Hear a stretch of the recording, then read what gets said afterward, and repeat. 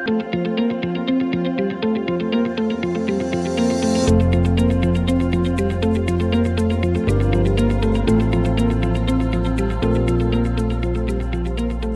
everyone, and welcome back to our training videos on ProPresenter 7. Today's video will be about themes. In ProPresenter 6 and before, themes were called templates. This is just a name change. It's the same thing under a different name. To find themes, if you go up to the top bar and click on theme, you'll get a drop-down menu that will show you all your different themes and the ability to create a new theme. Now, if you notice, in ProPresenter 7, we can now have folders for our themes. So if we go into New Vision, then we could pick New Vision Lyrics and we could pick our full screen lyrics. We could also edit that theme or we could delete that theme. But let's go ahead and make a new theme. So when you click New Theme, it'll ask you to rename it. So we'll name this one Test Theme. Save that. And that'll bring you into your theme editor. Another way to get into the theme editor would be to click these three dots in the top bar and then click theme editor. That'll bring you right into this look.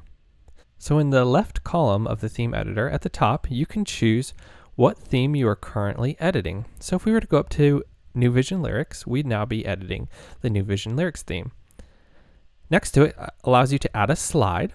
So if we were to add a slide, maybe we wanted to have another theme within New Vision Lyrics that was for lower thirds lyrics.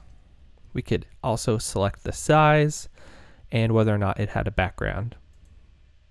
Now this would allow us to have two different looks of our lyrics in the same folder. Once you have a slide, you can then select a text box and format it just like you would in the presentation editor. And you can also add any new objects just like you would within the presentation editor as well.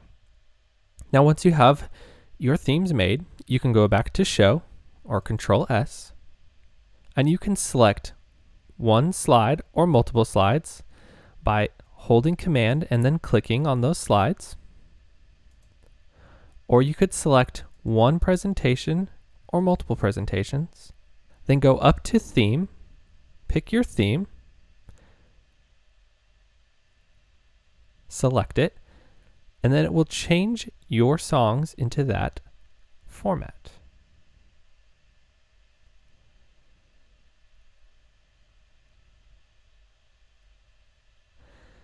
Or say maybe you just wanted to change one slide or just a couple of slides.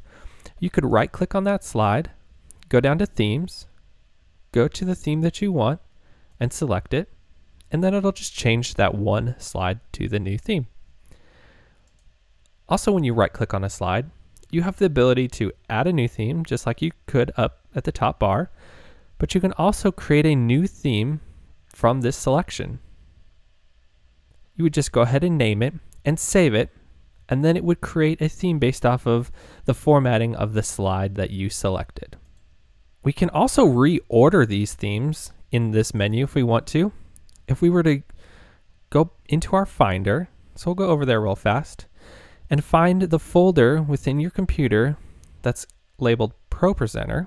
Then inside that folder, you'll see all these folders. So you can click on themes. Then you could see all of your different folders. So if I clicked on New Vision, you'd see all the different New Visions. And then you can go ahead and rearrange within here. You can also create new folders in here. And then once you're done rearranging, so say I wanted to move test theme into the New Vision, I'll just click and drag and drop into there. Then I go back to ProPresenter, click on theme, and you'll notice that now test theme is within New Vision. But since this is just a test, I'm going to go ahead and delete that theme. Notice when you delete a theme, you cannot undo this action, so that you can't undo once you've deleted it. Finally, we can export and import a theme. So to export, go to File, Export, Export Themes. You could export all of them, or you could unselect and just pick a specific theme if you wanted to. And you could export it. It would ask what you wanted to name it. You'd hit export. Then if you wanted to import a theme, you go to File, Import File.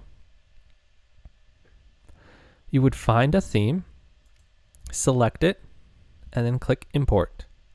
Then it will create a new folder for that theme that you had exported previously from maybe another machine, and you wanted to have that same style on this machine.